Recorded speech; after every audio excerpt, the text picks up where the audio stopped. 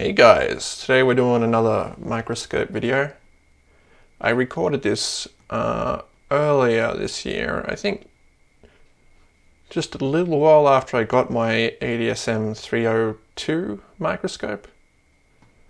Um, previously I used it just to look around my Raspberry Pi, but the real reason I got it was for soldering. And so this is more of a, a test of it.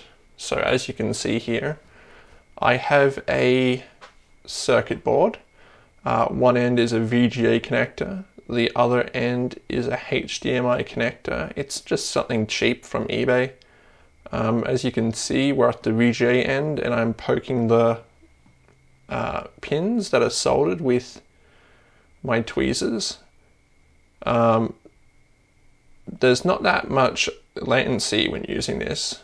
Um, I have like I have shaky hands, so um, the best thing I've found is just kind of to brace myself against the board. Um, so let's look at it from the side here to see what's happened. Um, yeah, so this thing wiggles. Um, that's not good. You don't want something, you don't want a connector wiggling um, when it's soldered to something. And if we look at it, we can see that one of the pins has come up at the end. And that's part of the response for it wiggling. The other part, I guess, is because they didn't design any strain relief in this.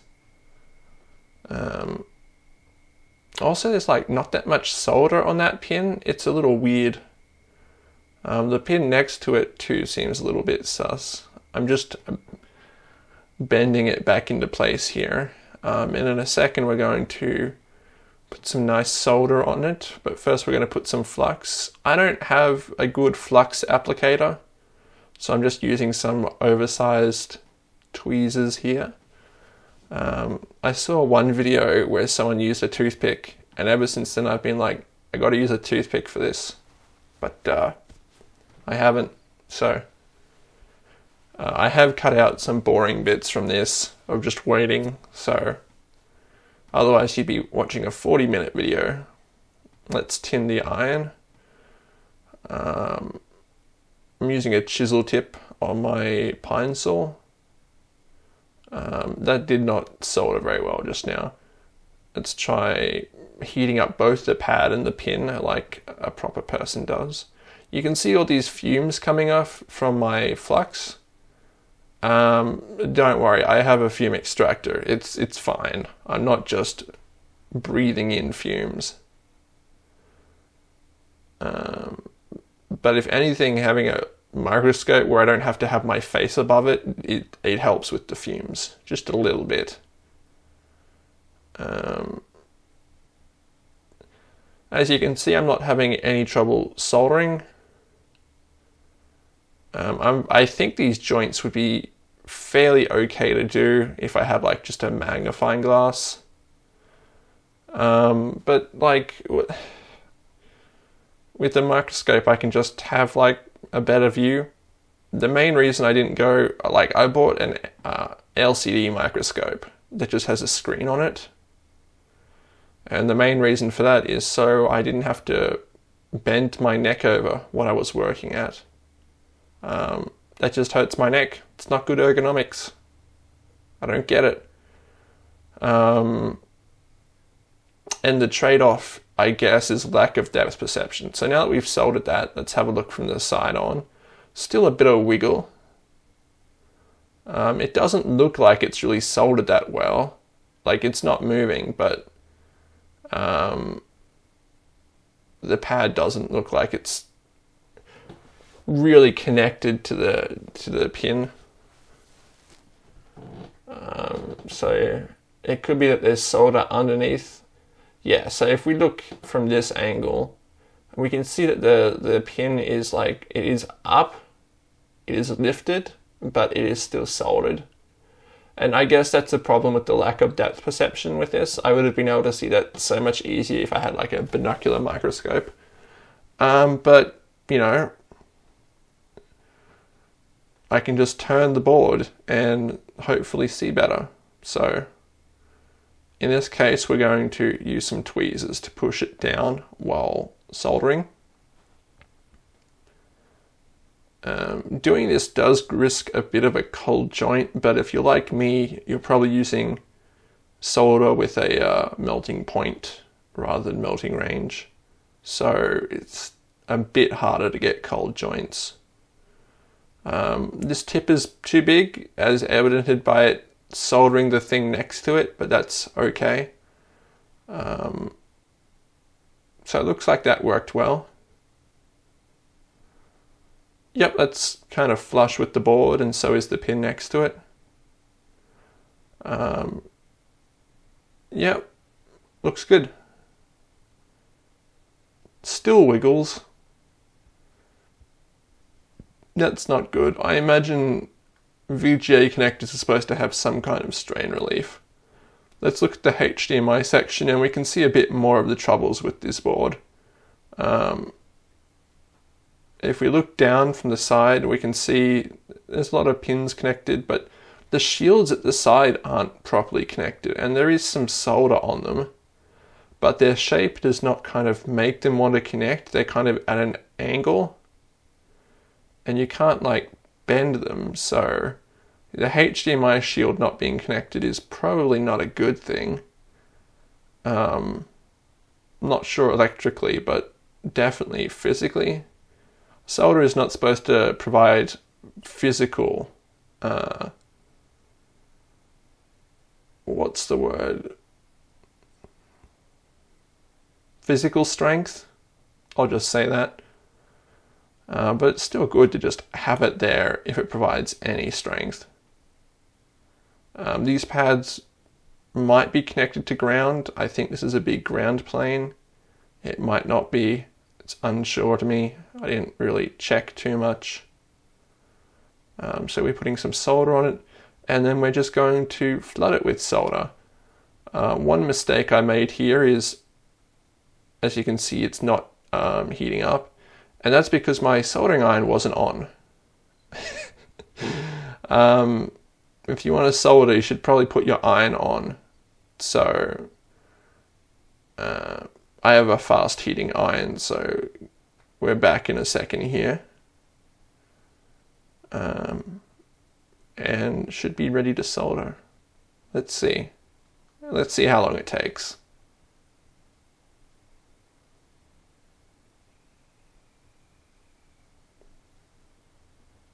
Quite a bit longer than I remember actually.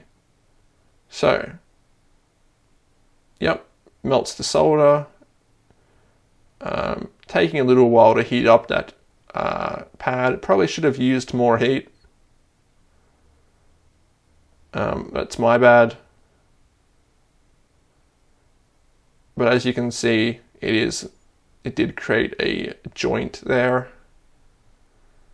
Um, it's probably a bit more solder than you would probably want for this kind of joint. Um, but it, the the connector is like not ideal for soldering, as evidenced by the fact that it didn't solder properly. Um, solder that end. Probably a bit too long there. That's okay. Uh, let's flip it over and do. Oh, I've already done all the joints. No, okay, yeah. So this side we have to do this one as well. So same strategy. I didn't put any flux down this time, so um, as you can see, I'm having a bit of difficulty and you can see the old solder is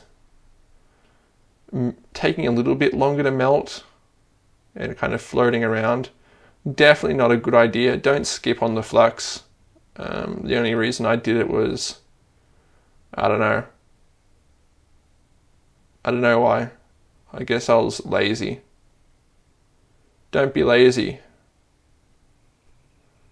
Uh, but yeah, it does. It eventually heats up and gets here correctly. And I uh, managed to, I think, heat up one of the joints there and leave a bit of a solder gunky thing. That's fine, we'll fix that in a little bit. Let's inspect the joints. I mean, are they the best joints? No. Uh, but they are better joints than before. It looks like the wiggle is actually gone. Um, as usual, I've forgotten to turn my screensaver off, so I have to type my password in. Um, don't be like that. Don't be a person that forgets to turn their screensaver off or wiggle their mouse. Um, if anything, I should probably just remove my screensaver auto turn on because I always lock my screen on purpose. Um, but since I'm using like Linux, I don't know. It just seems like it's it would take a few hours to figure out how to fix this, and it doesn't inconvenience me enough. I mean, I spent like a year with my graphics card being noisy until I figured out it's just like a few commands to fix that. Um, I feel like I'd probably, I feel like I'd be much better dealing with Linux problems if, uh,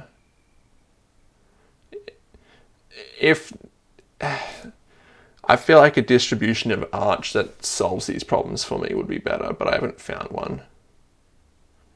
Okay, so at this point, we're just kind of poking the pins to see if they're moving after I soldered that. I think I was talking over it after we soldered that. No, we didn't solder it yet. That's good. Um, so we just saw two at the end moved. That's not good. They're both connected too. Um, the other VGA pin that was moving, I think it was not connected, but these two like are clearly signal lines. So um, I definitely want these to be connected. Maybe that's why it wasn't working. I don't know. I actually, uh, I didn't. I, I stopped using this thing because I was afraid that if I, you know, wiggled it anymore in use, um, I'd rip pads off or something. So I was like, okay, I'll just have to do maintenance on this anyway, even if it's still working if I jiggle it. Um, I would not recommend getting this off eBay unless I don't know. I take apart all my stuff I buy from eBay just to check that like it's not going to explode or break. Um, that can bring out some good content, but you know that's a it's a risk buying stuff from eBay. It's always cheap and um, you know you you get risks where you just you can't really well you can send stuff back but like, you know, if you send stuff back, what are you going to do then? You still you still need the thing you bought. Anyway, so we're holding down the pins while we solder these joints. Um,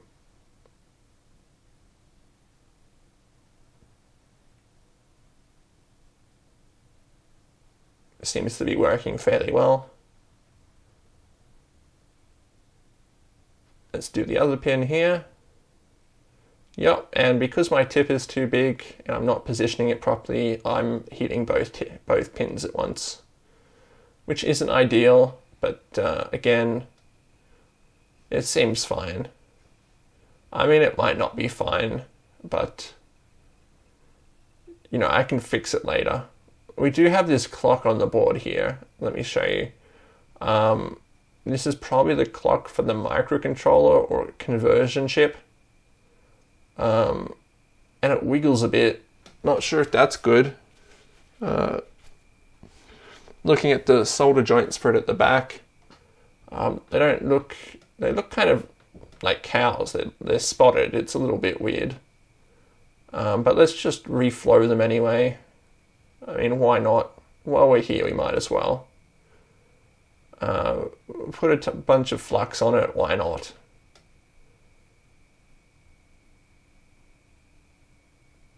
there's the USB port for power up there.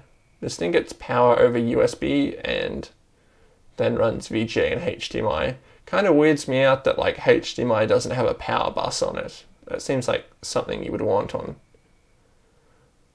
really any digital connector. Yep, so that's good. That's all done. I'm looking around the rest of the board just to see if there's anything we should maybe solder or fix.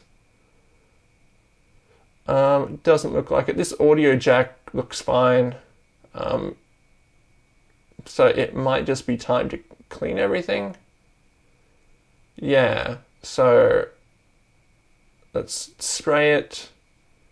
And I've, I've cut up this cleaning section so you don't have to watch it all. It's not that interesting. Um, so we, we brush it and then we, we swab it. Looks a little bit better. Um, and then we're going to use our tweezers to just remove some grime. Um, I'm not sure why there's so much grime here. This was here when I opened it. This is not my doing. Um, could be that this is just some kind of no clean flux, but it's only here in the board, so I'm not sure. Um, I use like thick, gross rosin flux, which isn't no clean, I don't think. Here's a solder splash. I think, yeah, this is my doing definitely. Um, at least I'm pretty sure. There's some gross stickiness there. Let's just clean it up. Get that swab. Uh, I think I'll be brushing it next. No, I must have cut that out. Uh, this is the HDMI side. As you can see, you can see my my flux. Um, if you get flux from a syringe, it's probably going to be a lot better than this. Um, but I bought soldering flux, rosin flux, when I first started soldering, and you know, I still have it. It's still a tub, so I might as well use it, right? It doesn't seem to be causing that many issues. It just really is a bit of a uh, trouble to clean up. And once again, we're going to clean out between these pins. It is kind of interesting that the pins that I soldered don't really have that that gunk that some of their pins do. Um, but yeah, that, that is all clean now. It looks good. Looks professional. Looking around the board, did we clean the clock part? It still wiggles, so not great, but it was worth a shot to try and fix that. Let's clean the other side of the HDMI connector. Cleaning is good.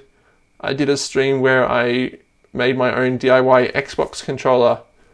And uh, after nine hours of constantly trying, not Xbox controller, Xbox to HDMI thing.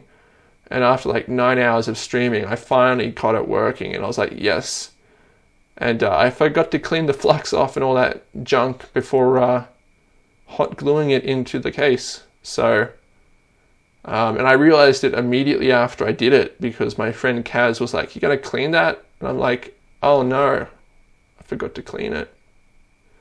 But that's okay. It wasn't really a good quality connector, and uh, I don't actually use it, so it was more of just a fun project. You know, why spend dozens of dollars when you can spend half a dozen dollars, but then nine hours of your time? Um, so at this point, you can see I'm trying to pick these cotton cotton swabs, the little um, fibers out from it. Uh, this is a bit tricky to do without depth perception, but yeah, you can do it. It's just a little bit more inconvenient. Um, let's just check the joints here. Um, the wiggle seems to be a lot less. Um, it's actually pretty good. I'm not sure why that is. I don't think cleaning things makes it wiggle less. It's worth noting for the HDMI section, the only wiggle was on the shield, I think. I'm not sure. So, what are we doing next?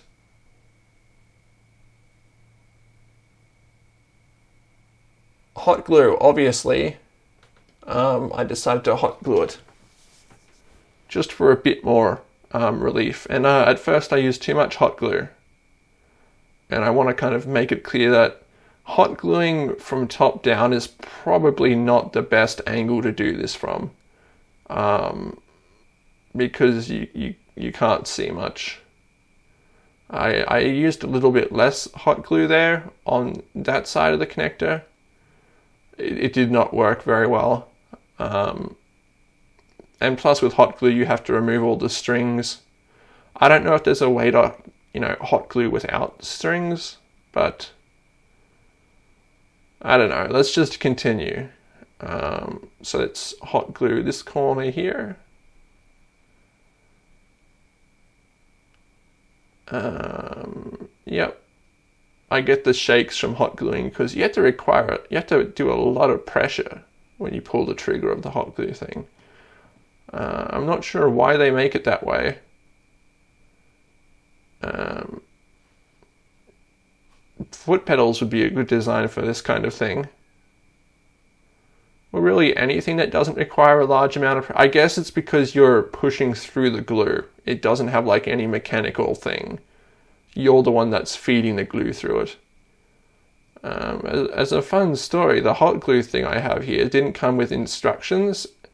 Well, it did, but it didn't mention one key thing. It didn't mention that you have to have a second like stick of hot glue in it in order to be able to push the first one through.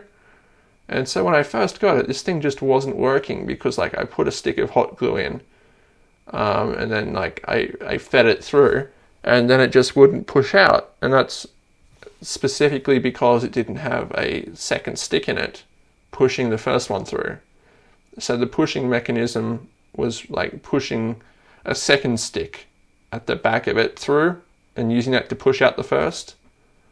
So without that, the first one would just sit there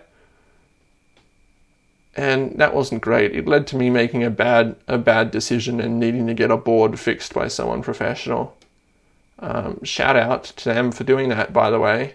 Um, I don't know if they want to be mentioned, but um, was very very nice of them. Um, I think yeah, they quoted two hundred dollars, and it was like a ripped pad and stuff, and uh, it, it definitely took them way more time than that. Um, and at the end, they were like, oh, I don't, I don't even want payment um, because I've got a new job and I'm moving away from this business. And I was like, no, I, I want to pay you. I'll just, I'll, I'll pay you what you quoted me. Um, I, I felt pretty bad. Um, so that's that's one reason I'm trying to get good at stuff so I don't make mistakes. Um, but I am a I am an expert at making mistakes. So overall though you can see here despite the lack of depth perception I am able to get these these strings using my tweezers. Um, I have been able to solder everything. I have been able to hot glue things I've seen some. One thing I was concerned about when getting an LCD microscope is the latency on it. Um, like you don't want too much. You don't want a detectable amount of lag when you're. Yeah, if we look at from the side here, you can see some of the hot glue didn't even bond to the board properly.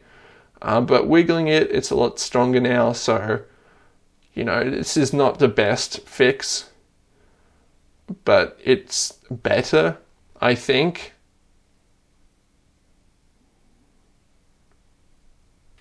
I've actually run out of video here and I'm recording this extra part in post. As I was saying though, um, the latency on uh, on this pretty good. Um, it doesn't feel like you're looking through something that's digitally processing a signal. So overall, I'd say pretty good. I would recommend this microscope because it's cheap and it works. That's all. Bye.